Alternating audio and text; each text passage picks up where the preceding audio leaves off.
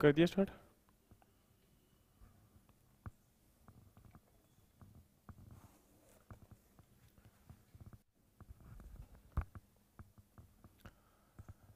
नमस्कार दोस्तों, कैसे हैं आप लोग? उम्मीद करता हूँ बढ़िया होंगे। A very good evening to all of you स्वागत है आप सभी का एग्रीमेंटर्स के यूट्यूब चैनल पर। और आज आप लोगों के साथ Haryana H D O horticulture development officer का जो एग्ज़ाम हुआ था उसकी आंसर की आप लोगों के साथ डिस्कस करूँगा।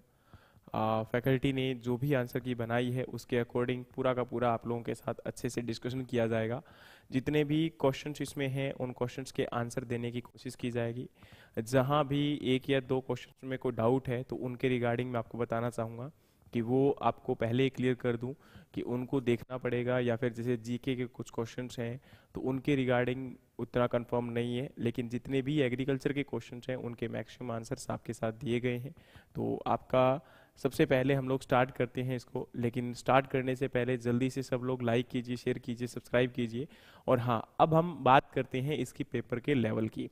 तो आपको बताना चाहूँगा कि पेपर का लेवल अच्छा खासा था।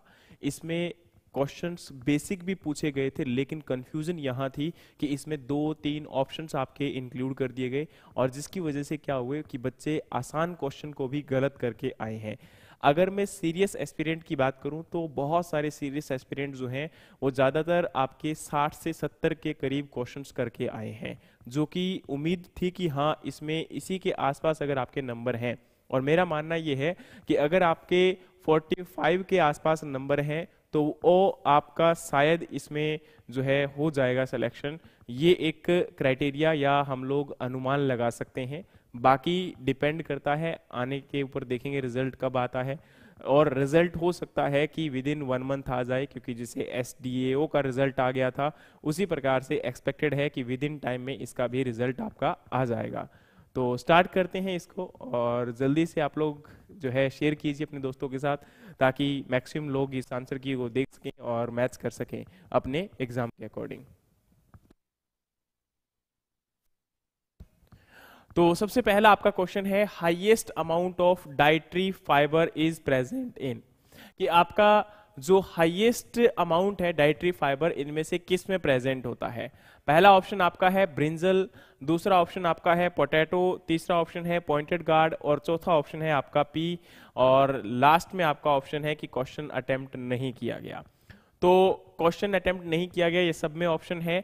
ये उस केस में आपका, क्योंकि वहाँ पर जब फिलअप करते हैं तो पांचवा ऑप्शन भी हमें फिलअप करना था तो उसके रिस्पेक्ट में इसको दिया गया है।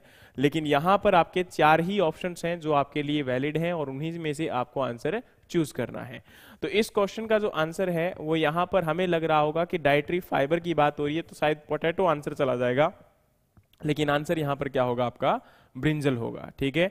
तो ब्रिंजल का जो आपका फाइबर अमाउंट होता है, वो ज़्यादा कंसीडर किया जाता है विद रिस्पेक्ट टू आपके पोटैटो ठीक है?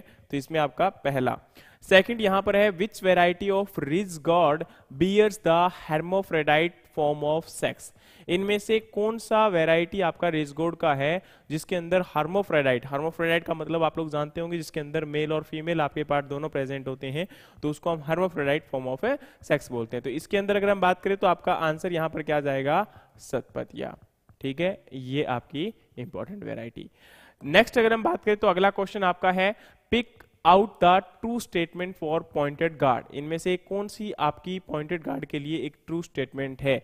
तो अब यहाँ पर ये स्टेटमेंट के जो क्वेश्चन थे, इनमें आपको काफ़ी प्रॉब्लम हुई है और इनके रिगार्डिंग आपके ज़्यादातर जो है क्वेश्चन भी गलत हुए हैं और यही आपके लिए प्रॉब्लम एक बन गई है। तो इस केस में अगर हम बात करेंगे तो आपको ये देखना पड़ेगा कि पेपर जो है, वो आपका इसी प्रकार से ट्रिकी हो गया था और ट्रिकी होने के कारण हमारे आंसर जो हुए हैं, वो क्या हुए हैं? गलत हुए हैं, है ना?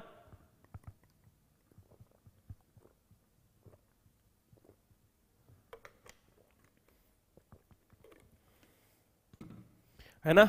तो इसमें हमारा क्या हुआ है कि ज़्यादातर क्वेश्चंस के आंसर हमारे गलत क्यों हुए क्योंकि हम लोग जो है, इसमें फोकस कहाँ कर रहे थे? हमारा पार्ट ये था कि इजी है और इजी के चक्कर में हमारे बहुत सारे क्वेश्चंस के आंसर गलत भी हुए हैं। लेकिन अगर आपने पूरा अच्छे से पढ़ा है तो डेफिनेटली इसका आंसर जो है आप लोगों ने सही किया होगा। तो यहाँ पर अकॉर्डिंग टू क्वेश्चन जो है, आपका आंसर यहाँ पर क्या होगा? फ़र्स्ट और आपकी third late flowering is associated with higher yield pointed gourd में, और तीसरा यहाँ पर है आपका F P four is a suited for bower system तो स्टेटमेंट फ़र्स्ट और थर्ड जो है, ये दोनों करेक्ट है, और इसलिए यहाँ पर आंसर आपका क्या होगा? सी उसके बाद आपका फोर्थ जो क्वेश्चन है फोर्थ में है consider the following statement for onion onion के लिए यहाँ पर स्टेटमेंट दी गई है, पहली स्टेटमेंट है आपकी low temperature in the beginning of growth favours bolting and accordingly very common in early part of Rabi and late part of Kharif. Next यहाँ पर है कि पोटेशियम और जिंक जो है वो सप्लीमेंटेशन रिड्यूस बोल्टिंग कि अगर हम जिंक और पोटेशियम की सप्लीमेंटेशन करते हैं तो बोल्टिंग के चांसेस रिड्यूस हो जाते हैं। थर्ड यहाँ पर है कि high nitrogen increase the bolting कि अगर हम नाइट्रोजन अमाउंट हाई प्रोवाइड करते हैं तो उससे भी आपका यहाँ पर क्या हो सकता है? आपका बोल्टिंग का चांसेस इंक्रीज हो सकते हैं। Bolting increase with increase in the size of sets and is maximum in 2.5 and 3 centimetre and minimum in the 1.0 and 1.5 centimetre ठीक है? तो यहाँ पर आपका जो है, इनमें से क्वेश्चन पूछा गया है कि कौन सी स्टेटमेंट आपकी इनकरेक्ट है, ठीक है? तो आपका इनकरेक्ट पूछना है, यहाँ पर यह बहुत इंपॉर्टेंट है कि आपका करेक्ट स्टेटमेंट और इनकरेक्ट स्टेटमेंट तो उन केसेस में आपका जो क्वेश्चन गलत होता है तो वहाँ पर आपका, अब देखो इनकरेक्ट अगर पूछा जा रहा है तो इनकरेक्ट का मतलब है कि इनमें से कौन सा इनकरेक्ट होगा? तो आपको बता दूँ कि यहाँ पर आपका स्टेटमेंट थ्री जो है, वो क्या है? आपका इनकरेक्ट है। बाकी इसके अंदर जितने भी ऑप्शन ये बन रहे हैं, ये सारे के सारे क्या है आपके? सही है, ठीक है? तो आपका पहला यहाँ पर ऑप्शन जो था, वो भी बिल्कुल सही है। सेकंड ऑप्शन भी सही है। फोर्थ भी सही है, लेकिन स्टेटमेंट इनकरेक्ट पूछा गया है तो इनकरेक्ट स्टेटमेंट में आपका आंसर क्या जाएगा? थर्ड ठीक है?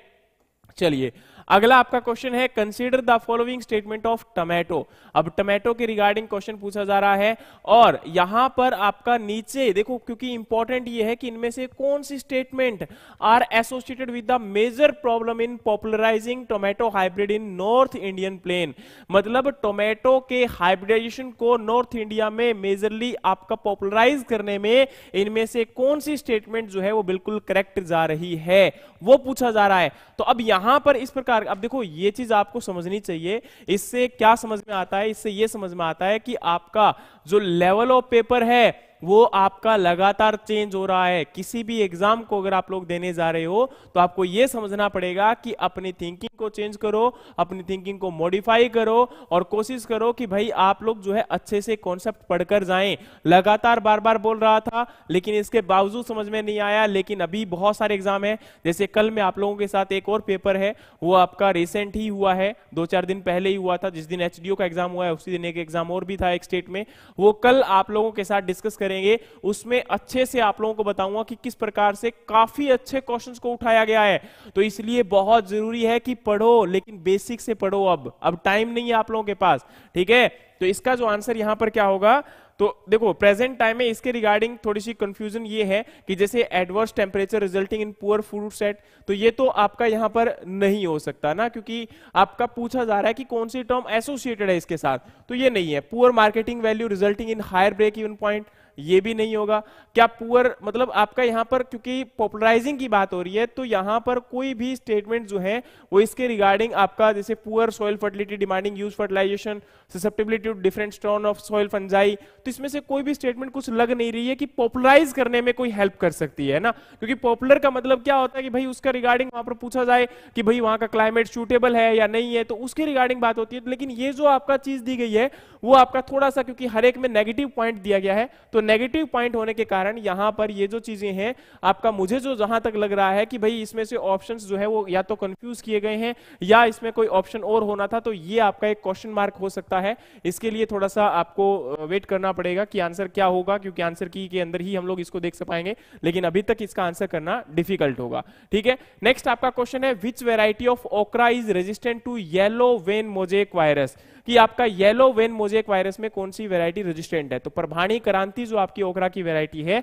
ये येलो वन मोजेक में आपका रेजिस्टेंट वेराइटी है। उसी प्रकार से अगला आपका क्वेश्चन है each fruit of beetroot contents how many seed कि आपका जो बीटरूट है, इसके अंदर कितने सीड प्रेजेंट होते हैं फ्रूट के अंदर बीटरूट में? तो आपका पाँच से छह सीड क्या होते हैं प्रेजेंट होते हैं। ठीक है? अब काफ़ी बच्चे क्या कर रहे हैं? छोड़ के जा रहे हैं क्योंकि उनके आंसर शायद गलत होना स्टार्ट हो गए हैं। क्योंकि अब अपनी गलती जब देखते हैं तो शायद नज़र नहीं आती है ना, क्योंकि वो प्रॉब्लम में आ जाते हैं। तो ऐसा मत करिए। आपका, आपको देखना है तो आराम से देखिए, लेकिन इसको समझिए कि गलत हुआ है तो भी क्यों हुआ है और नेक्स्ट टाइम पर गलत नहीं होना चाहिए।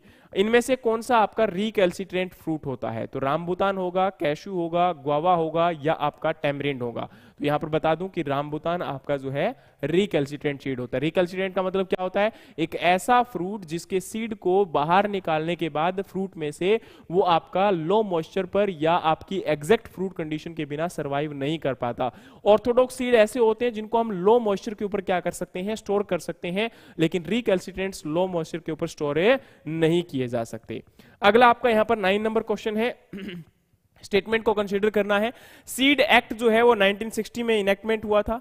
उसके बाद सेकंड है कि ये बात तो आपको पता होगी कि हाँ 1960 के अंदर सीड एक्ट इनेक्ट हुआ था। उसके बाद है कि फॉर हाइब्रिड सॉरी आपका hybrid seed production in okra male and female ratio should be one is to six कि आपका ओकरा मेल और फीमेल का रेशियो जो है वो वन टू सिक्स होना चाहिए।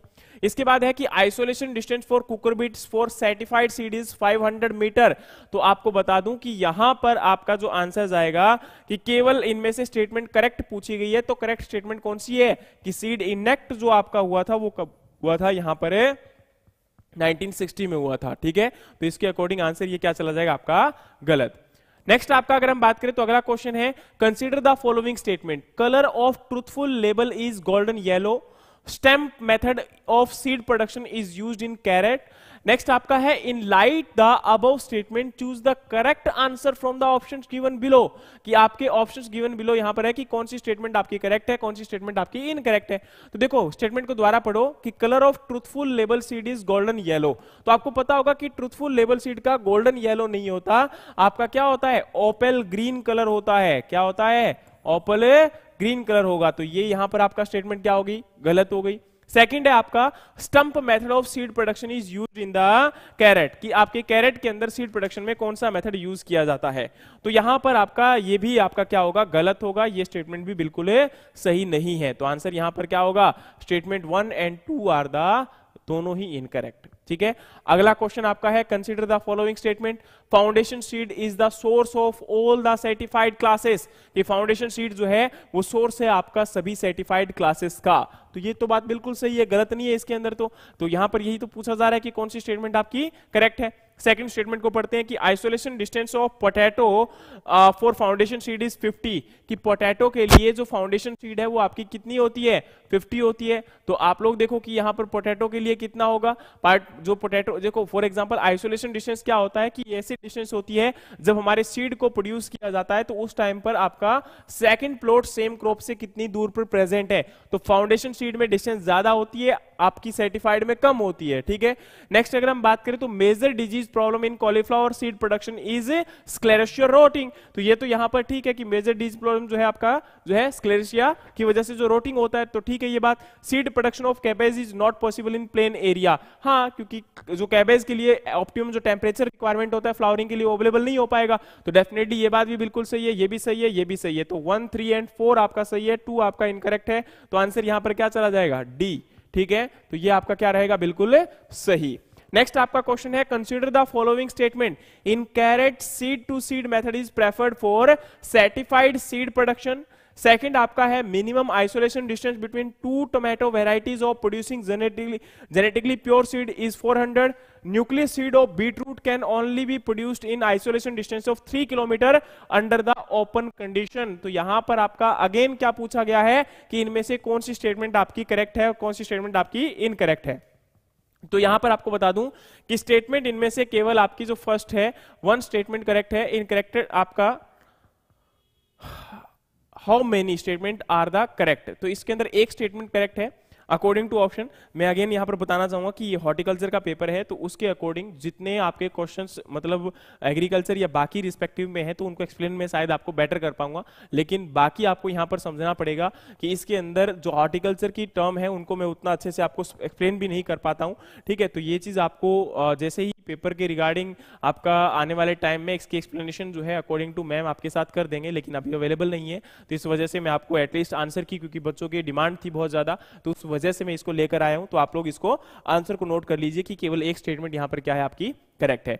अगला आपका क्वेश्चन है, इस क्वेश्चन का आंसर बहुत अच्छे से दिया जा सकता है। क्वेश्चन क्या है कि good solar radiation distribution found in which orientation of green house कि आपका सोलर रेडिएशन मेनली जो है, किस डायरेक्शन में आपको मतलब बेटर देखने को मिलेगा? तो सिंपल सी बात है कि हमारा नॉर्थ साउथ डायरेक्शन जो होता है, वो आपका बेटर ओरिएंटेशन होता है किसके लिए?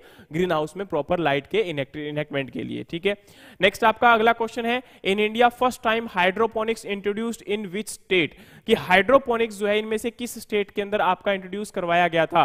गुजरात, राजस्थान, कर्नाटका या वेस्ट बंगाल? तो आंसर क्या होगा आपका? कर्नाटका, ठीक है? तो गुजरात नहीं, आपका कर्नाटका में क्या हुआ था? फ़र्स्ट टाइम हाइड्रोपोनिक्स जो है, वो इंट्रोड्यूस करवाया गया था। ठीक है? अगला यहाँ पर क्वेश्चन है which country develop first robot system for grafting of cucurbits vegetable कि इनमें से कौन सी कंट्री है जो कि आपकी यहाँ पर फ़र्स्ट रोबोट डेवलप किया था रोबोट सिस्टम डेवलप किया था, किसके लिए? आपके कुकुरबीट्स फैमिली के अंदर आपके जो है उनको ग्राफ्टिंग पर्पज के लिए। तो सिंपल सी बात है, इसका जो आंसर जाएगा वो यहाँ पर रहेगा जापान। ठीक है कि जापान ने सबसे पहले क्या किया था? ये आपका डेवलप किया था क्या? रोबोट सिस्टम, जिसके अंदर कटिंग ऑफ़ कॉटलेडन ग्राफ्टिंग ठीक है? अगला क्वेश्चन है आपका कंसिडर द फॉलोइंग स्टेटमेंट और नेक्स्ट आपका यहाँ पर नीचे लिखा है कि इनमें से कौन सी स्टेटमेंट आपकी करेक्ट है? तो पहला आपका है कि nutrient film technique is type of water culture system in which the bare roots in which the bare roots are continuously bath in flowing nutrient solution अगला क्वेश्चन है, अगला ऑप्शन है आपका कि major problem of NFT system is highly probability high probability of quick recirculation of disease organism like Pythium with in the green house and third option है कि vegetable crop is adaptable to NFT system are tomato and cucumber तो यहाँ पर आपका statement कौन कौन सी जो है बिल्कुल सही है? तो इसमें आपका फ़र्स्ट और सेकंड स्टेटमेंट आपकी करेक्ट है और थर्ड स्टेटमेंट यहाँ पर क्या है? इनकरेक्ट है कि वेजिटेबल सिस्टम जो आपका यहाँ वेजिटेबल क्रॉप जो है वो आपकी अडेप्टेबल होती है किसके रिगार्डिंग की एनएफटी में। तो ये आपका स्टेटमेंट यहाँ पर क्या चला जाएगा कि गलत होता है, ठीक है?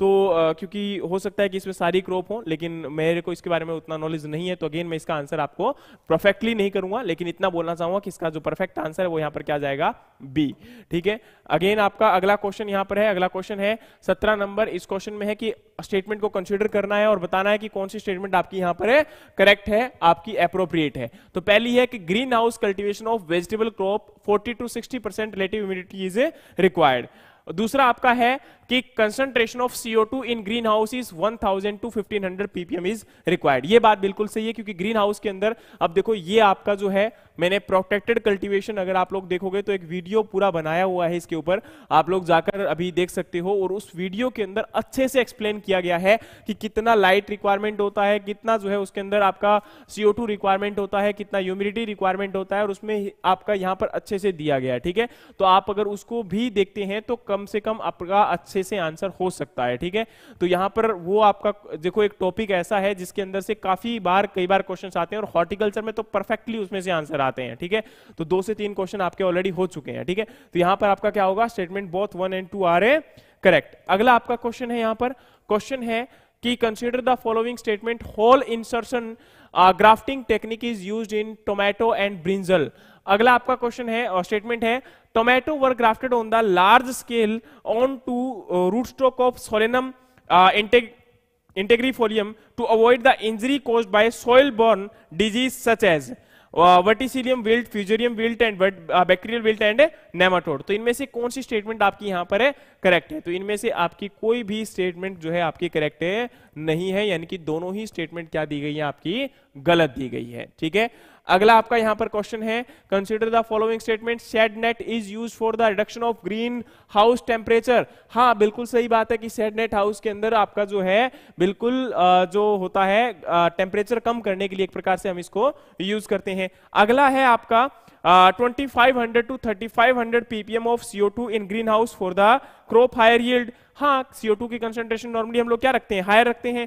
Photosynthetic active radiation is 100 to 200 nm बिल्कुल नहीं, ये बात आपकी गलत हो जाएगी। अगेन आपका प्रोटेक्ट कल्टीवेशन का क्वेश्चन और यहाँ पर ये आपका आंसर क्या चला जाएगा? ए यानी कि वन एंड टू अगला आपका क्वेश्चन है यहाँ पर, अगला क्वेश्चन है twenty yellow orange colour of saffron is responsible for the which compound कि आपका यहाँ पर कौन सा जो येलो कलर होता है सेफ्रॉन के अंदर, उसके लिए कौन सा कंपाउंड रिस्पॉन्सिबल है? ल्यूटिन है, आपका वायलोजेंथिन है क्रिप्टोजेंथिन है, या फिर आपका क्रोसेटिन है? तो यहाँ पर आंसर क्या रहेगा आपका? क्रोसेटिन अगला आपका क्वेश्चन है यहाँ पर question number 21 which of the given disease is related to cumin seed इनमें से कौन सा डिज़ीज़ आपका क्यूमिन सीड के रिलेटेड है? Alternaria solani Alternaria alternate Alternaria allii या अल्टरनेरिया बर्शियाई। तो यहाँ पर आंसर क्या चला जाएगा?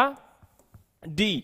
नेक्स्ट आपका अगला क्वेश्चन है 22 consider the following statement statement one all spices tree comes to fall bearing stage in 20 to 25 year second statement है कि Pimenta pimento dioica is scientific name of all all spice in the light of above statement choose the correct answer from the given below तो यहाँ पर आपका क्या है कि कौन सी स्टेटमेंट इनमें से सही है? तो आपका आंसर यहाँ पर क्या होगा कि both statement one and two are the correct ठीक है? तो यहाँ पर इस पर्टिकुलर एक प्लांट uh, या ट्री स्पीसीज के रिगार्डिंग क्वेश्चन पूछा गया था तो क्वेश्चन यहाँ पर क्या होगा आपका?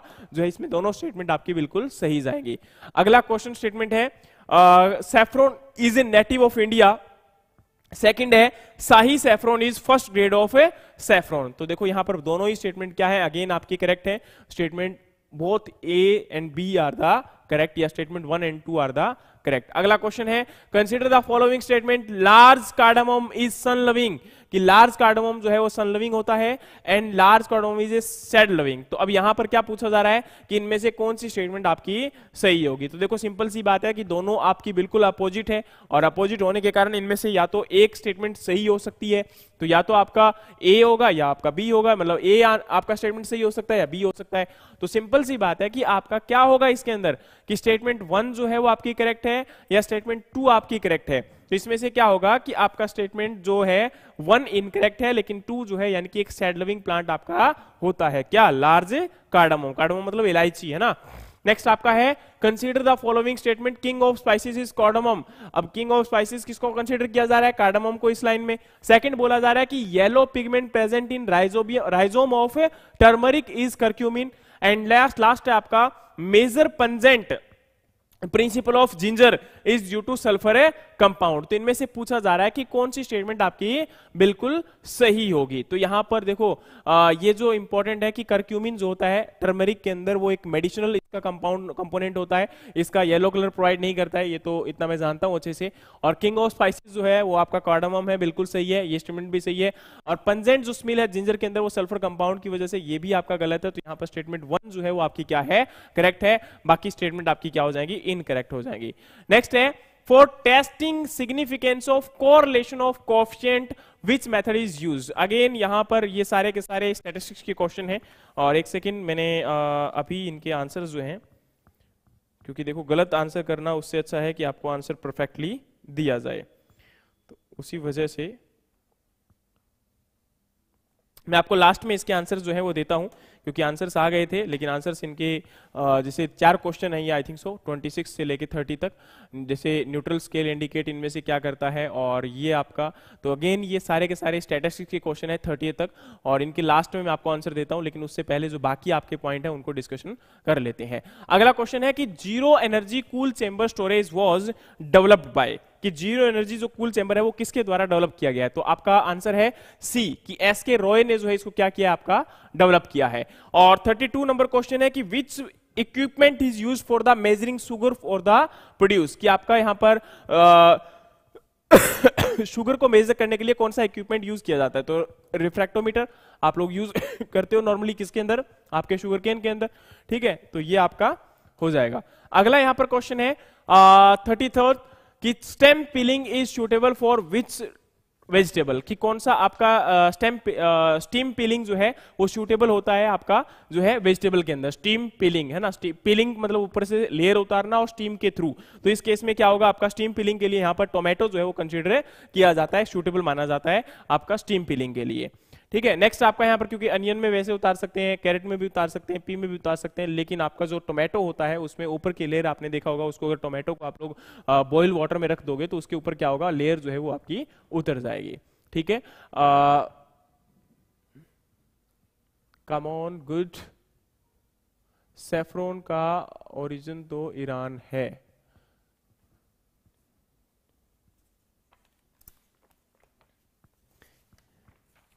एक सेकेंड, क्वेश्चन क्या था आपका?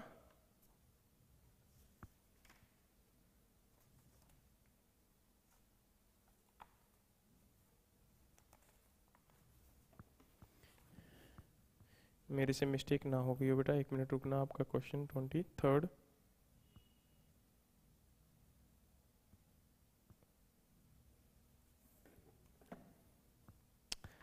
Twenty third question में आप लोग बोल रहे हैं कि हो सकता है, लेकिन एटलीस्ट अभी प्रेजेंट टाइम में मैं आपको इतना बोलना चाहूँगा कि एक बार रुकिए इस क्वेश्चन के ऊपर। आपको क्लियर किया जाएगा डेफिनेटली ठीक है? लेकिन अभी इसका आंसर जो है कि आपका 33 का टोमेटो है, ये बिल्कुल सही है, आपका गलत नहीं है। नेक्स्ट आपका 34 नंबर क्वेश्चन है। Aroma of guava is due to beta caryophyllene और नेक्स्ट आपका है flavouring compound in banana is isopentyl acetate tapka stage is maturity index of papaya which of the following statement is correct तो देखो यहाँ पर आपका जो एरोमा है गोवा के अंदर ये बिल्कुल सही दिया गया है और फ्लेवरिंग कंपाउंड बनाना के अंदर ये भी आपका सही है। लेकिन टपका स्टेज जो जहाँ तक मुझे पता है ये आई थिंक सो आपके उसमें होता है ना आ, क्या बोलते हैं खजूर के अंदर ठीक है? डेट पाम में। तो आपका जो है ये गलत हो जाएगा। तो स्टेटमेंट यहाँ पर वन और टू तो क्या है आपकी करेक्ट है। तो सी आंसर यहाँ पर क्या चला जाएगा आपका सही चला जाएगा। नेक्स्ट आपका है अगला question consider the following statement vacuum cooling is mostly used for the tuber vegetable और second statement है कि traditional drying of onion in the field is called as wind drawing and third है कि आपका यहाँ पर as fruit mature the specific gravity will be decrease मतलब क्या हो रहा है? पहले स्टेटमेंट में लिखा गया कि वैल्यूम्स जो वैक्यूम कूलिंग है is mostly use for the tuber vegetable की वैक्यूम कूलिंग जो होती है, वो ट्यूबर के लिए यूज़ करते हैं ट्यूबर वेजिटेबल के लिए यूज़ करते हैं. Traditional drying of onion in field is called as wind drying किसको हम विंड ड्रॉइंग बोलते हैं. और as fruit mature the specific gravity will be decrease तो यहाँ पर आपको बता दूँ कि फ़र्स्ट स्टेटमेंट आपकी जो है, वो बिल्कुल सही है सॉरी सेकंड स्टेटमेंट आपकी बिल्कुल सही है, बाकी आपकी स्टेटमेंट जो है यहाँ पर गलत है, यानी कि फ़र्स्ट और थर्ड स्टेटमेंट गलत है, लेकिन स्टेटमेंट सेकंड जो है वो आपकी क्या है? बिल्कुल सही है। ठीक है?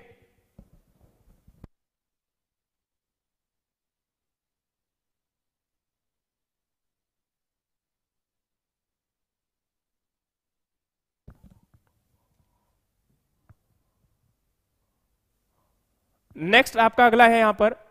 Drum stick select in 24 inch length and straight thick and five kilogram in packing तो यहाँ पर स्टेटमेंट वन के बारे में बोला जा रहा है कि ड्रम स्टिक जो है select in 24 inch length straight thick and 5 kilogram in packing next है okra poured are 3 to 5 inch length and green tender packing 5 kilogram green chilli 6 to 7 inch length and yellow greenish packing 7 kilogram तो ये आपका यहाँ पर statement जो दिया गया है, इसके रिगार्डिंग आपका पूछा जा रहा है कि कौन कौन सी स्टेटमेंट इसके अंदर आपकी जो है सही है और इनकी पैकेजिंग के रिगार्डिंग क्वेश्चन पूछा गया तो ओनली आपका यहाँ पर अगर हम बात करें तो टू स्टेटमेंट जो है वो क्या है आपकी? सही है ऑप्शन बी आपका राइट जाएगा ठीक है? नेक्स्ट अगर हम बात करें तो आपका यहाँ पर अगला क्वेश्चन है व्हाट इज़ फाइलोडी फाइलोडी क्या होता है? तो फाइलोडी एक प्रकार से जो आपके लिफी स्ट्रक्चर जो है फ्लावर पार्ट जो होते हैं, वो लिफी स्ट्रक्चर में कन्वर्ट होना ही क्या होता है? यहाँ पर फाइलोडी होता है। तो ये फाइलोडी डिज़ीज़ मोनली आपका सिस्टम फाइलोडी आप लोग पढ़ते हैं और उसके अंदर आप लोगों को ये भी पता होगा कि फाइटोप्लाज्मा की वजह से वो क्या होता है आपका डिज़ीज़ अकर करता है। तो मैंने एक दिन ये आपका डिज़ीज़ के ऊपर पूरा बनाया भी था।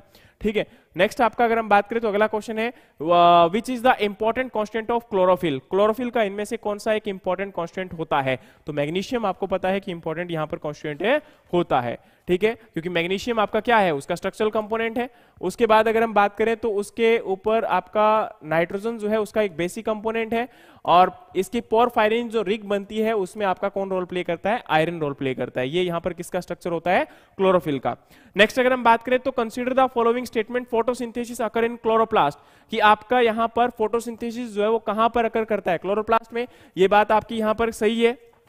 अगला आपका स्टेटमेंट है ethylene is a gaseous hormone sorry हाँ cryopreservation is associated with the liquid CO two और नेक्स्ट यहाँ पर है कि which of the following statement is a correct तो यहाँ पर आपको पता है कि हाँ क्रायो प्रिजर्वेशन भी आपका CO2 से रिलेटेड होता है और यहाँ पर फोटोसिंथेसिस जो है ये भी आपका यहाँ पर क्योंकि देखो क्रायो प्रिजर्वेशन में केवल लिक्विड नाइट्रोजन नहीं होता बल्कि आपका CO2 के अंदर भी आप लोग क्या करते हो स्टोर करते हो जिसके अंदर माइनस के समथिंग आप लोग जो है टेम्परेचर को मेंटेन करते हो ठीक है? तो ये दोनों ही आपका बिल्कुल सही है। तो स्टेटमेंट आपकी दोनों ही क्या है यहाँ पर?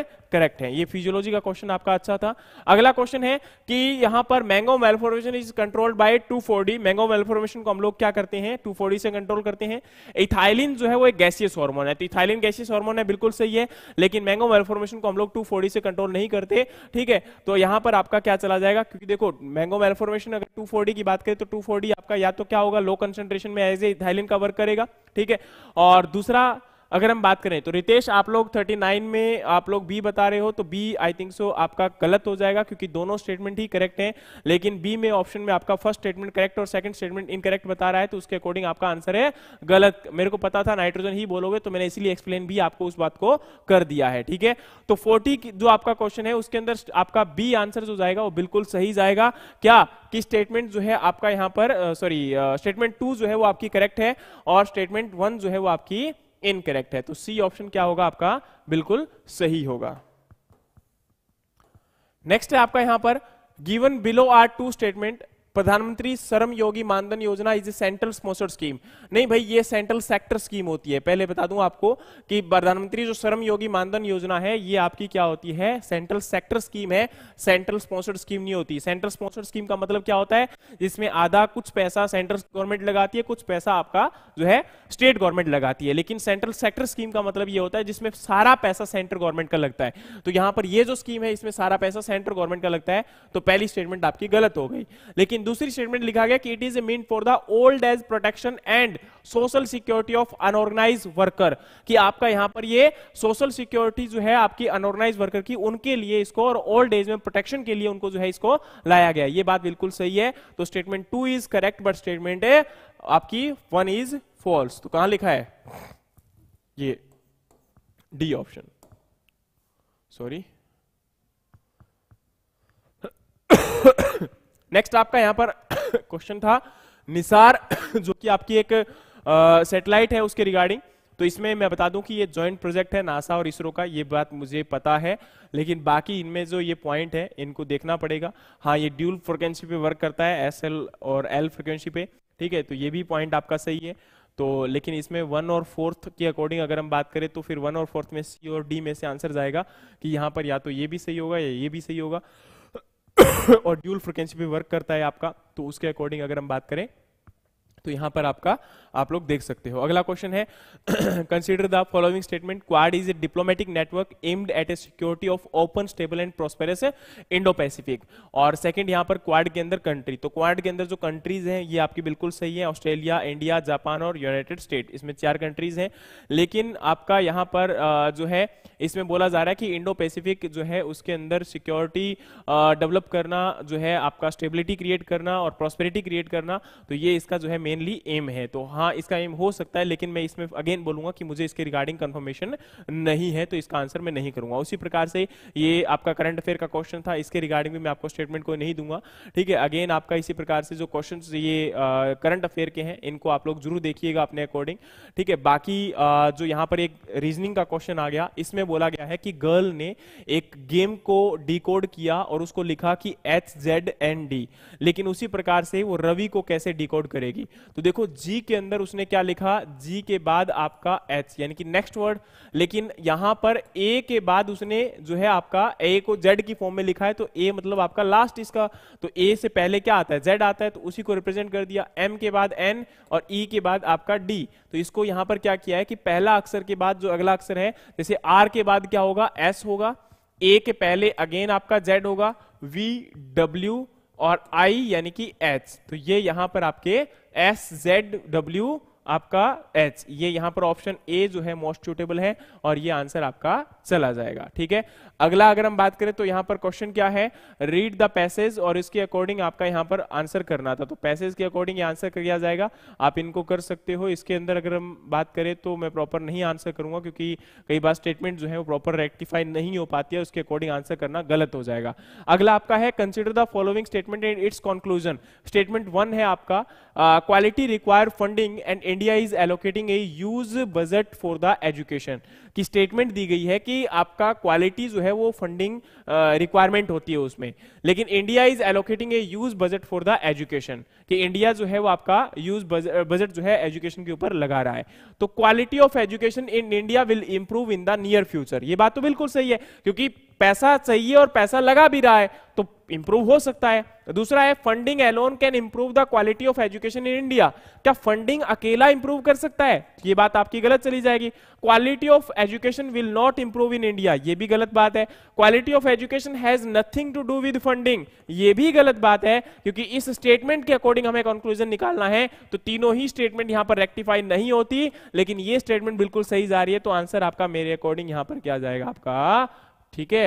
वन ठीक है?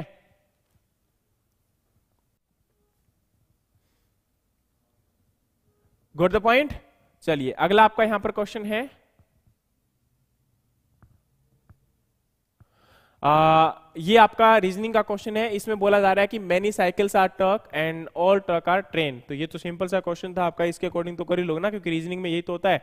और अगला आपका यहाँ पर क्वेश्चन है। ये भी रीजनिंग का एक क्वेश्चन है। इसमें क्या बोला जा रहा है कि भाई, रोहन जो है वो 20 मीटर आपका ईस्ट में जाता है। तो जैसे अगर हम बात करें तो नॉर्मली आप लोगों को पता होगा, ये हमारा नॉर्थ होता है, ये साउथ होता है, ये ईस्ट होता है और ये आपका वेस्ट होता है। तो इसमें वो कहाँ चला? 20 मीटर ईस्ट में चला। तो ये लो जी 20 metre.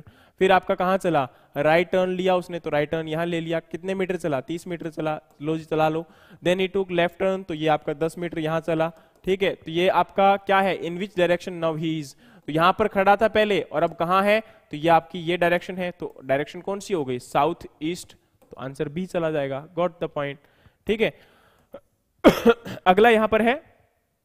Uh, you are the investor and have opportunity to invest in two companies company a has the history of stable growth but offer lower potential return इसके अंदर आपका क्या है कि कंपनी a के अंदर stable growth है but potential return low है कंपनी b के अंदर क्या है आपका startup with higher risk and high reward potential what you, what should we prioritize when deciding where to invest your money? तो आप लोग कहाँ पर इसको इन्वेस्टमेंट करने की कोशिश करोगे? स्टेबिलिटी में लोअर रिस्क में higher potential return and excitement में. How many of the variable statement give above are the correct in given situation तो सिंपल सी बात है भाई स्टेबिलिटी होना बहुत ज़रूरी होता है, क्योंकि जब पैसा लगाया जा रहा है तो वो एकदम से वेस्ट नहीं होना चाहिए, है ना? दूसरी बात है कि लोअर रिस्क रिस्क भी बिल्कुल कम होना चाहिए आपका, ठीक है? क्योंकि रिस्क ज़्यादा होगा तो नुकसान ज़्यादा हो सकता है।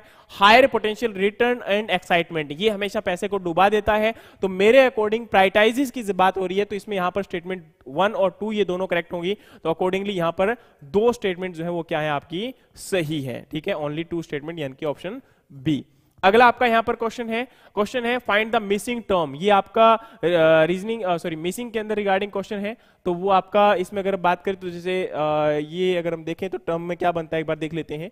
ठीक है uh, कई बार इजी नहीं होता है काफ़ी डिफ़िकल्ट चला जाता है। तो यहाँ पर फिर भी कोशिश करूँगा निकालने की आपके लिए। तो यहाँ पर है सेवन और ये आपका सिक्सटीन सिक्सटीन के अगर रेशो को देखा जाए तो क्या निकल के आया? यहाँ पर आपका टू ऐड किया गया। तो छब्बीस।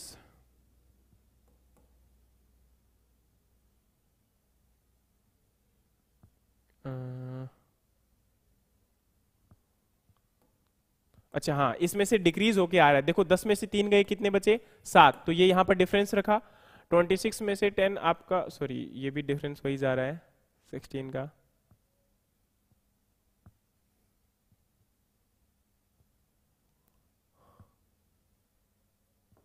अगर हम इंक्रीज होने के रेशो में अगर देखा जाए तो 26 के अकॉर्डिंग वन और टू 21 आना चाहिए।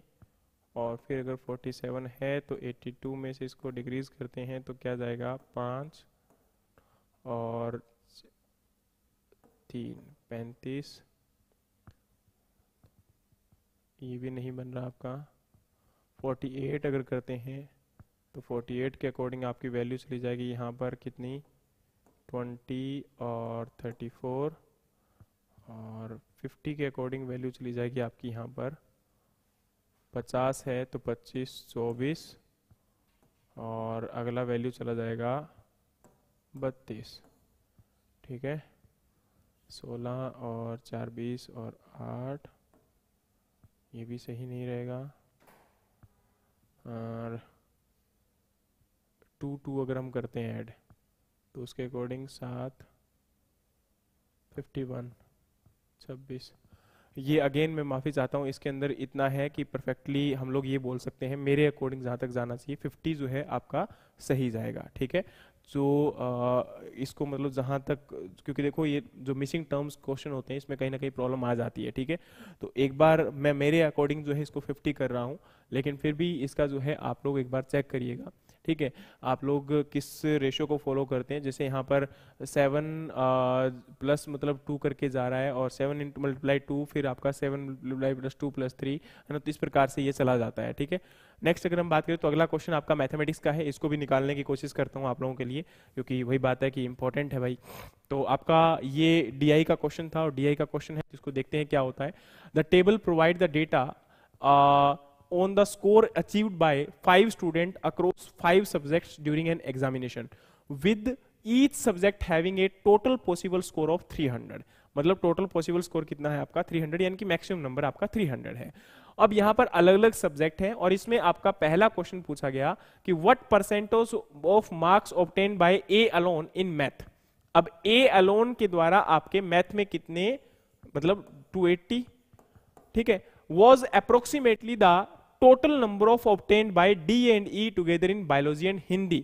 D and E ने हिंदी में टोटल जो नंबर आपके लिए तो कितना हो गया? ज़ीरो और 330 तो ये कितना परसेंट बनता है? तो 280 आपका 330 का कितना परसेंट होगा? यही जो एक प्रकार से पूछ लिया गया है। तो अप्रोक्सीमेटली ये कितना बनता है? तो आ, अगर हम निकालेंगे इसको तो फाइंड आउट किया जाएगा आपका 280 डिवाइडेड बाय क्योंकि अभी तो पेपर नहीं है ना तो आराम से निकाल लेते हैं। 280 डिवाइडेड बाय 33 तो ये 84 परसेंट के समथिंग आपका जा रहा है। लेकिन ये तो गलत हो जाएगा, क्योंकि क्वेश्चन क्या पूछा रहा है? What percent of marks obtain by A alone in math was approximately the total marks obtain by D and T together in biology and Hindi sorry माफ़ी चाहता हूँ, ये आपका बायोलॉजी और हिंदी दोनों की बात हो रही है। तो यहाँ पर हमने इसको तो ले लिया था आई थिंक सो ये था आपका ज़ीरो और सात पाँच, बारह और एक तेरह, और इसको जो है हमने क्या लिया, दो। दो सौ तीस, और ये था आपका आठ और आठ सोलह, और चार पाँच छ, और दो। ये दो सौ छियासठ। टोटल मार्क्स कितने हुए? छ नौ, चार चार सौ छियानवे। और चार सौ छियानवे ए के मार्क्स किसमें है? मैथ में। तो यहाँ पर ये बिल्कुल सही जाएगा। 280 डिवाइडेड बाय चार सौ छियानवे बचा 56 परसेंट ठीक है? तो अप्रोक्सीमेटली ये यहाँ पर आपका राइट आंसर है, ज़्यादा। क्वेश्चन चाहते हैं तो आप लोग इनको, क्योंकि देखो, गलती मेरे से भी हुई, मैंने केवल क्या किया, हिंदी के मार्क्स को काउंट कर लिया, लेकिन बायोलॉजी भूल गया। तो ऐसे क्वेश्चन जब भी आप लोग देखते हो तो इनमें गलतियाँ होने के चांसेस होते हैं। समझ में आ गया? तो आप लोग इनको ज़रूर चेक करें और इनके अकॉर्डिंग हमेशा अच्छे से देखकर फिर आंसर करें। गलतियाँ हो सकती है। अगला आपका कौन सा क्वेश्चन है? कंसिडर द फॉलोइंग स्टेटमेंट अब हरियाणा के अकॉर्डिंग कुछ स्टेटमेंट दी गई है। Current name, name of Haryana was given by Lala Lajpat Rai. It was known as Haryana, uh, Haryanak during the medieval period. In ancient period, Haryana was also known as Brahmavarta Aryavarta और आपका ब्रह्म देसा देखो, मेरे को इतनी knowledge इसकी नहीं है तो मैं गलत आंसर नहीं करूँगा। सिंपल सी बात है, क्योंकि देखो, मुझे एक आदत है कि भाई स्टेटमेंट सही दो, लेकिन गलत मत दो, है ना? उसी प्रकार से हरियाणा का अगेन ये एक स्टेटमेंट है, इसको भी मैं आंसर नहीं करूँगा। Haryana has unicameral legislature ये भी आपका नहीं किया जाएगा। नेक्स्ट है consider the following statement Haryana is a agriculture prosperous state हाँ ये देखो, ये कर सकते हैं। हरियाणा जो है वो एग्रीकल्चर प्रोस्पेरस स्टेट है। ये बिल्कुल सही है। The state produce large number of car in India Haryana agriculture prosperity is attributed to green revolution ये बात बिल्कुल सही है कि हरियाणा एक एग्रीकल्चर प्रोस्पेरस स्टेट है और एग्रीकल्चर की प्रोस्पेरिटी जो है वो ग्रीन रेवोल्यूशन से आई थी। ये दोनों बातें बिल्कुल सही है। लेकिन क्या आपका largest number of car produce करता है स्टेट और सेकंड है कि state rank second to refining the crude oil in India. तो इंडिया के अंदर ये क्रूड ऑयल वाली ये बात तो गलत निकल जाएगी। लेकिन यहाँ पर जो लार्जेस्ट नंबर ऑफ़ कार है, जब तक मारुति गुड़गांव में थी, तब तक तो मुझे समझ में आता है कि ये आपका आज भी सही हो सकता है। लेकिन अभी इसके बारे में कंफर्मेशन डिपेंड करेगा इसके अकॉर्डिंग तो उसके अकॉर्डिंग अगर हम बात करें तो प्रेजेंट टाइम में क्या होगा? One and two only two and three only three and four only तो वन एंड थ्री ओनली तो ऑप्शन के अकॉर्डिंग वन एंड थ्री तो बिल्कुल सही दिया गया है तो यहाँ पर आपका आंसर क्योंकि तीन स्टेटमेंट इंक्लूड ही नहीं कर रहे तो आपका दो ही स्टेटमेंट है तो दोनों स्टेटमेंट यहाँ पर भी बिल्कुल परफेक्ट है तो ऑप्शन डी जो है बिल्कुल सही चला जाएगा। नेक्स्ट अगर हम बात करें तो consider the following statement most festival of Haryana are reflective of seasonal rhythm of agriculture economy Baisakhi is celebrated with zeal and fervour of state तो ये दोनों स्टेटमेंट ही कहीं ना कहीं मुझे तो ठीक लगती है क्योंकि एग्रीकल्चर इकोनॉमी के अकॉर्डिंग ही हम लोग इनको सेलिब्रेट भी करते हैं, आपके बैसाखी वगैरह ना? लेकिन इसके साथ में यहाँ पर है कि जैसे आपका दिवाली भी है, दशहरा भी है ना, इनको आपकी हार्वेस्टिंग के बाद जैसे ऑलमोस्ट ज़्यादातर हम फेस्टिवल्स को मनाते हैं या फिर सीज़न की शुरुआत में मनाते हैं। तो सेकेंड है यहाँ पर कि बैसाखी जो है वो आपका दे जो हरियाणा का स्टेट है, उसमें झील और जो एक प्रकार से मतलब खुशियाँ और मतलब आपका जो है आने वाले टाइम में भाई, है ना, अच्छे से तो धन धान्य को इम्प्रूव करने के लिए दोनों स्टेटमेंट में मानूँगा कि आपकी यहाँ पर स्टेटमेंट सही हो सकती है। तो स्टेटमेंट आपके one and two are correct ठीक है? लेकिन एक्सप्लेनेशन जो है यहाँ पर ये देना थोड़ा सा गलत हो जाएगा। एक्सप्लेनेशन नहीं होगा। दोनों स्टेटमेंट आपकी सही है। नेक्स्ट है which is C fruit type अभी हाँ यहाँ पर ये आपका क्वेश्चन आ गया। अगेन आपके हॉर्टिकल्चर के क्वेश्चन हैं। उनके आंसर मैं आप लोगों के लिए कर देता हूँ जल्दी जल्दी, ताकि आपका आंसर आप लोग मैच कर सको। सी फ्रूट क्रॉप जो है, वो आपकी यहाँ पर डेट पाम को कंसिडर किया जा रहा है। उसके बाद आपका अगला क्वेश्चन है recurrent flowering is physiological disorder of which mango cultivar तो ये आपका अल्फांसो का कंसिडर किया जाता है। 62 में सी है। उसके बाद आपका नेक्स्ट है P K M three hybrid is a cross of which variety P K M जो थ्री हाइब्रिड है, वो इनमें से आपका किसी का भी क्रॉस नहीं है। अगला क्वेश्चन है consider the following statement dry neck is disorder of avocado and fruit necrosis is disorder of amla woodiness is disorder of annona and kokum is a disorder of a sapota तो इनमें से कितनी statement सही है? तो आपको बता दूँ कि सारी की सारी स्टेटमेंट आपकी सही है, क्योंकि ये सारी स्टेटमेंट आपकी करेक्ट रिप्रेजेंट करती है, ठीक है? अगला आपका यहाँ पर क्वेश्चन है। क्वेश्चन क्या है? Consider the following statement flower bud differentiation in mango is during October November flower bud differentiation in grape is March April flower bud differentiation in amla is October December and flower bud differentiation in banana is January February तो यहाँ पर आपका statement one and two आपकी correct है, बाकी दोनों statement आपकी गलत है। तो यानी कि यहाँ पर ये दोनों आपकी सही होंगी। मतलब फ्लावर आपका कब आता है भाई? नेक्स्ट आपका है Mallika is hybrid variety of mango release by ICR Arka Aruna is hybrid variety of pomegranate release by आपका आईआईएचआर तो देखो यहाँ पर आईआईएचआर के बारे में तो आपको पता होगा। कि ये बिल्कुल सही है, लेकिन अर्का अरुणा जो है वो पोमग्रेनेट की वैरायटी है कि नहीं है, ये आपके लिए इंपॉर्टेंट है तो यहाँ पर आपका जो है अकॉर्डिंग टू आंसर जो है स्टेटमेंट जो है स्टेटमेंट वन जो है आपकी करेक्ट है और स्टेटमेंट टू आपकी जो है इनकरेक्ट है, बताई जा रही है ठीक है नेक्स्ट आपका अगला क्वेश्चन है Pusa delicious and Pusa majesty are the gynodioecious variety and Pusa dwarf and Pusa nana are the dioecious variety. CO3 and CO4 are the hybrid variety. Which of the following is the correct तो आपको बता दूँ कि यहाँ पर statement one two and three तीनों ही आपकी क्या है? करेक्ट है, तीनों ही स्टेटमेंट आपकी बिल्कुल सही है, ठीक है? क्वेश्चन नंबर सिक्सटी सेवन में। अगला क्वेश्चन आपका है which statement of grape is most suitable for raisin कौन सी आपकी वेराइटी जो है रेजिन्स में रेजिन्स के लिए परफेक्ट है? तो थॉमसन सीडलेस आपकी क्या है? सीडलेस परफेक्ट है। और जाइगोडोर्मेंसी इज़ फाउंड इन जाइगोडोर्मेंसी जो है किसमें फाउंड आउट होती है? तो आंवला के अंदर आपकी जाइगोडोर्मेंसी देखने को मिलती है। उसी प्रकार से कीवी फ्रूट जो है वो क्या है? तो कीवी फ्रूट आपका एक डेसीडियस वाइन है ठीक है? नेक्स्ट आपका यहाँ पर है, Chaubattia Alankar and Chaubattia Madhu are the cultivar of कि जो चोबेटिया अलंकार और चोबेटिया मधु जो है वो किसकी वेराइटीज है किसके कल्टीवार हैं तो एप्रिकॉट के हैं। नेक्स्ट आपका है consider the following statement pistachio belongs to the family Arecaceae and avocado belongs to the family Ebenaceae and, इनके रिगार्डिंग आपकी स्टेटमेंट सही बतानी है तो दोनों ही स्टेटमेंट आपकी क्या है? इनकरेक्ट हैं। ठीक है? अगला आपका 73 नंबर क्वेश्चन है तो 73 के अंदर है indicator plant of tristeza virus is acid lime and indicator plant of tristeza virus is Rangpur lime तो दोनों स्टेटमेंट पूछी गई है, दोनों स्टेटमेंट में से कौन सी स्टेटमेंट आपकी सही होगी? तो यहाँ पर आपका स्टेटमेंट जो है वन को राइट right कंसिडर किया गया है और स्टेटमेंट टू को जो है आपका इनकरेक्ट कंसिडर किया जा रहा है। नेक्स्ट अगर हम बात करें तो आपका अगला क्वेश्चन है, क्या? Pollen sterility is a serious problem in which fruit crop की पोलन स्टेरिलिटी जो है वो आपकी सीरियस प्रॉब्लम है आपकी फ्रूट क्रॉप की किस फ्रूट क्रॉप की? तो ये आपकी बेर की एक प्रॉब्लम इंपॉर्टेंट मेजर प्रॉब्लम है। नेक्स्ट आपका अगला क्वेश्चन है 75 in which of the following fruit crop parthenocarpy is not seen parthenocarpy इनमें से किसमें देखने को नहीं मिलती? तो मैंगो के अंदर पार्थेनोकार्पी नहीं देखने को मिलती। पार्थेनोकार्पी क्या होता है? Fruit development without fruit. तो यहाँ पर आपका बाकियों के अंदर देखने को मिलती है, लेकिन आपकी मैंगो के अंदर नहीं कंसिडर की जाती।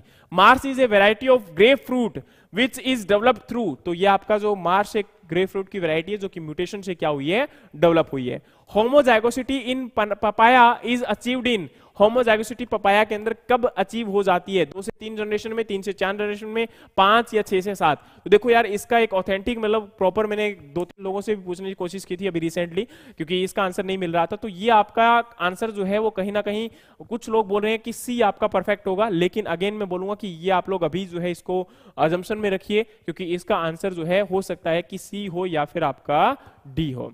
अगला आपका क्वेश्चन है consider the following statement date palm क्या है आपका? मोनोशियस है। पपाया क्या है? पॉलीगेमस है। वॉलनट क्या है? मोनोशियस है। और पिस्टनट क्या है आपका यहाँ पर? डायोसियस है। तो आपकी दो, तीन और चार स्टेटमेंट सही है। यहाँ पर आपका ऑप्शन ए सही जाएगा कि आपका जो है डेट पाम मोनोशियस नहीं होता, लेकिन बाकी पपाया पॉलीगेमस है वॉलनट मोनोशियस है और पिस्टनट आपका डायोसियस है।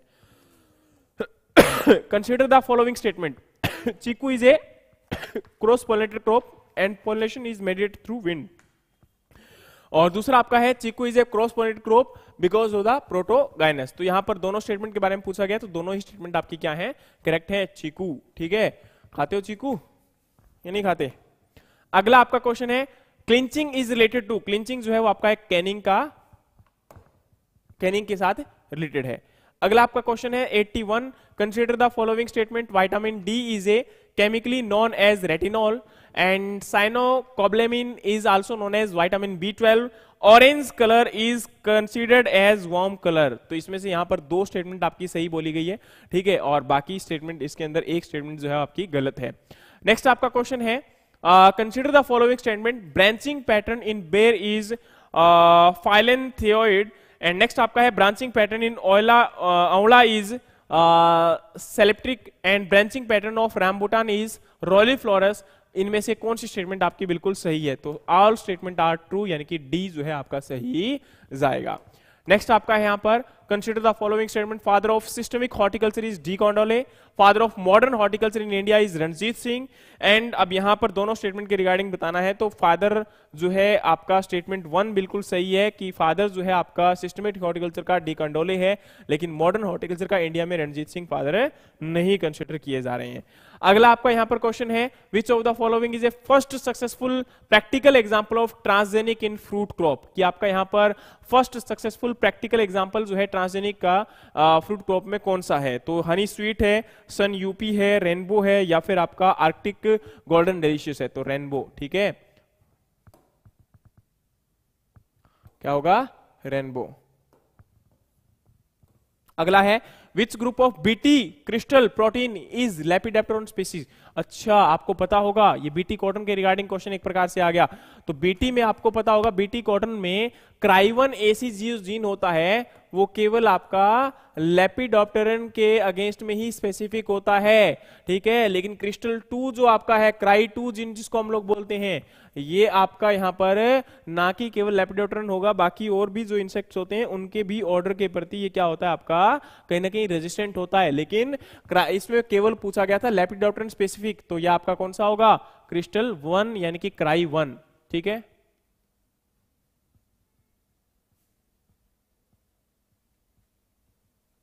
मेंस एग्ज़ाम आपका वन मंथ तक हो सकता है ब्रदर ठीक है? चलिए.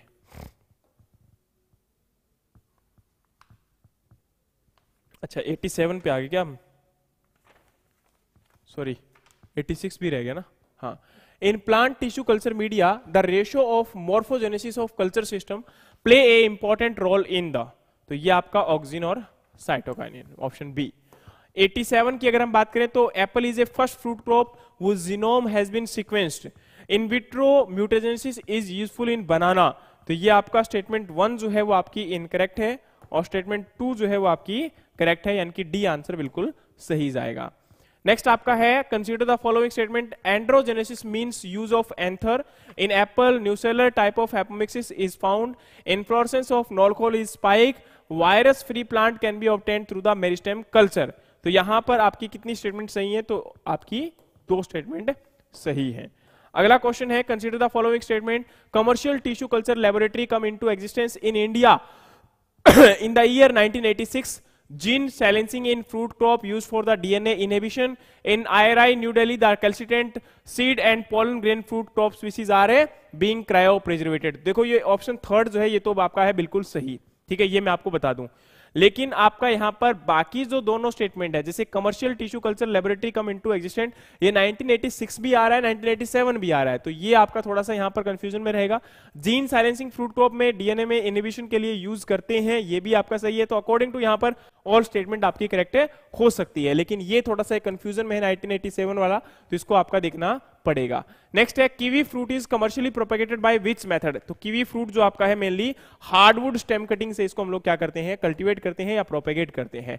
नेक्स्ट आपका है the large cardamom is propagated by तो लार्ज कार्डोमम जो है आपका सीड के द्वारा प्रोपेगेट किया जाता है, यानी कि ऑप्शन ए सही आपका होगा।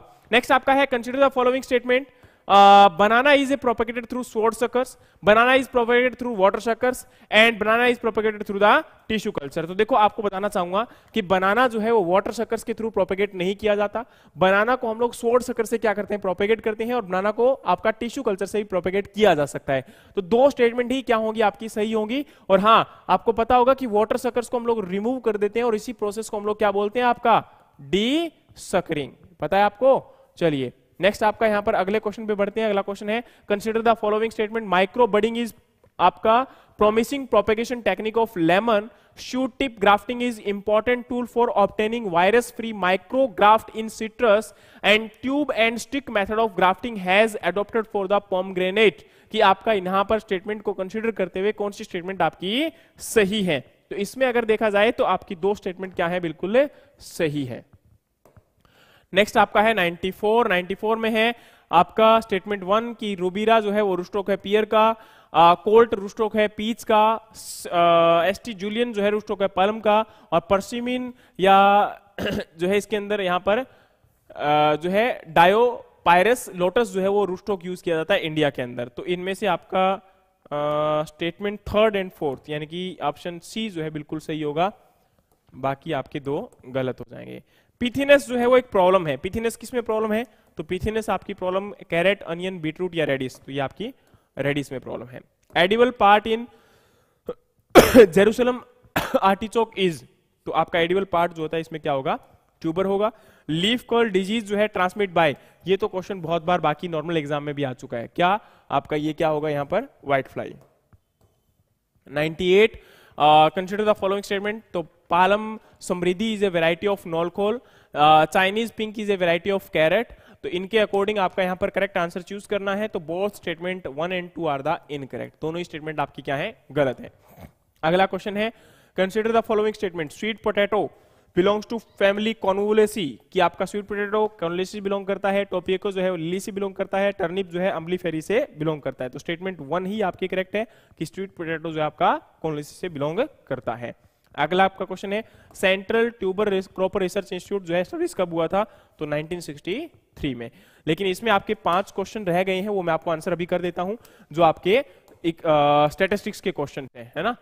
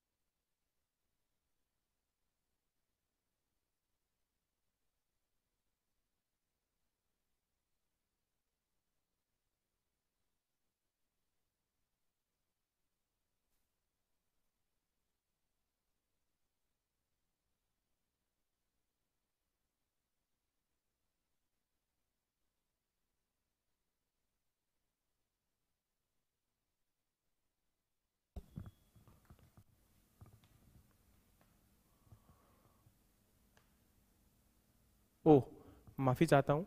आई थिंक सो प्रॉब्लम कहीं हो गई होगी। ठीक है? यार माइक को बंद मत किया करो। सॉरी सॉरी सॉरी माफ़ी चाहता हूँ। आपका यहाँ पर uh, अभी आवाज़ आ रही है प्लीज़ एक बार मुझे बता दो। अभी क्या मेरी आवाज़ आप लोग सुन पा रहे हैं?